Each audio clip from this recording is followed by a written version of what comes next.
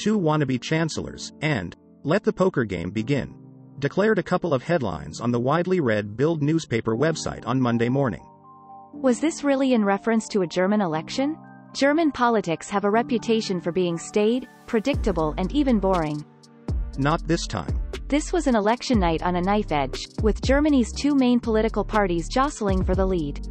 At times with only a fraction of a percentage point between them. Now both the Social Democrats and the conservative CDU, CSU union have claimed the right to try to form a government. The two rivals are also pursuing the same coalition partners, the Greens and the FDP Liberals, so it's likely to be a lengthy, complex process. And in the meantime, there'll be no Auf Wiedersehen to Angela Merkel. She'll remain Germany's caretaker chancellor. Those retirement plans of hers are now expected to be put on ice until around Christmas. So far, so politically messy and un-German. Or is it? In the lead up to these elections there was an incredible amount of talk about how Germany would now change, perhaps dramatically, after 16 years of Chancellor Merkel.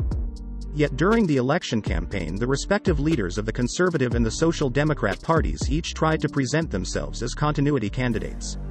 Not wildly different, but recognizably similar to Mrs. Merkel in many ways. Germans talk about change, but most yearn for stability. None of the parties hoping to form a new coalition government can be described as radical. What we're probably looking at after these elections is limited change. Let's call it change with a small c. The real change I see in Germany is that it is now more like other European countries when it comes to voting patterns. People expect to be won over by candidates. They no longer automatically gave their vote to a party out of loyalty, because that's always how they or their family voted. Angela Merkel's conservatives ran the risk of losing voters as soon as she announced plans to retire. The majority of CDU supporters in the last two elections were women. Others who normally shunned Mrs. Merkel's party also said they lent it their vote solely because of her. Those supporters were ripe for picking by other parties. The political research company Infratest dimap suggests the CDU-CSU union lost more than 2 million votes in this election to the Greens and the Social Democrats.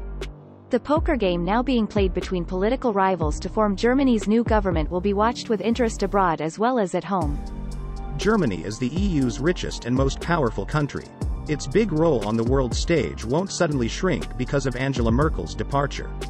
Or because voting patterns have suddenly become more splintered. Germany's allies and trade partners value its political stability. Change with a small c, won't unseat that.